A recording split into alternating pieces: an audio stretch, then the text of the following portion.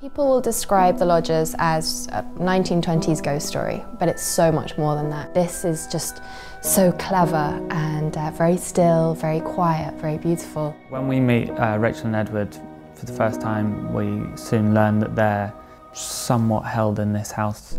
And it comes to light that within this house there are supernatural forces that are keeping these two, these twins, Rachel and Edward, trapped. Rachel has a view of the house that they're held captive and she wants to escape and see the real world and I think Edward sees the house as at least some sort of safety. The twins live in this house bound by three rules and the rules are They have to be locked up in their rooms by midnight.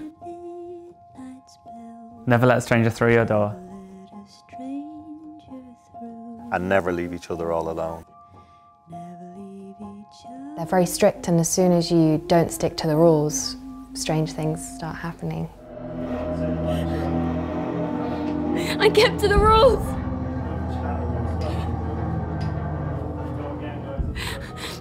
I play the role of Sean Nally, who is a post-World War I Irish war veteran, and he is so strongly drawn to Rachel. He's a bit of an outcast like she is, and she sees him as an escape as well, as an opportunity for a normal life. But then, of course, that brings her to the dilemma of being torn between Edward and Sean.